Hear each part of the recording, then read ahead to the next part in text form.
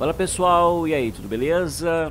Mostrando aqui pra vocês aqui a abdução né, que tá rolando no GTA Online eh, no mês de outubro, no final de outubro, né?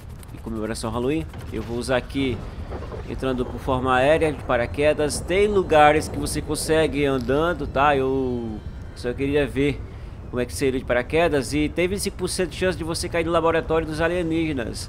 Cair no laboratório você ganha uma roupa rara. E eu vou pegar ela tanto no personagem feminino e no masculino, personagem principal e secundário, respectivamente. Então vou tentar cair aqui em cima dessa plataforma. Ih, rapaz, bugou na animação, cara. Será que eu vou morrer? Não morri.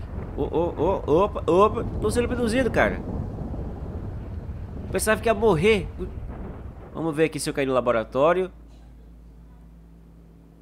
Opa, caí no laboratório. Vamos ver aqui vocês tentam ver se tem alguma diferença é, na abdução feminina e masculina. Vamos ver se tem algum ninja aí que vai detectar a diferença. Eu não vi tanta coisa aí nesse laboratório. Deve ter uns alienígenas aí no lado, né? Olhando pra gente, mas enfim. Eu spawnei aqui no acampamento de Alien.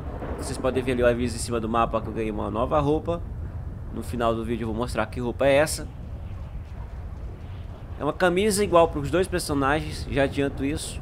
Então vou aqui mostrar aqui a abdução do personagem masculino. Aqui foi na Praça da Legião Square. É, dá pra você ser abduzido andando, não precisa voar no veículo.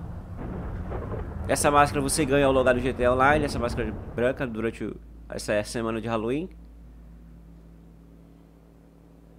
Spawnamos também de novo aqui no bagulho. Parece que tem menos monitores tinha mais monitor na personagem feminina. Impressão que eu tive aqui de diferença. Teve 5% de chance de você, quando for abduzido, cair nesse lugar. Outras vezes você cai direto no spawn aqui, ó. E dá pra você ser abduzido durante missões. Ó, ganha roupa aqui também, ó. Só ganha roupa, se eu não tô enganado, se cair no laboratório de pesquisa dos aliens. Que nem mostro ali pra vocês, pessoal.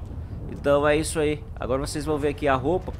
É, você consegue pegar roupa através na, no seu quarto, né, no guarda-roupa, vai em blusas, depois blusas especiais, e aí você vai encontrar essa roupa aqui que vocês estão vendo, rapaziada. Essa roupa branca ou cinza, não sei porque tá com efeito aqui de Halloween, não dá pra saber qual é exatamente a cor exata é, dessa roupa.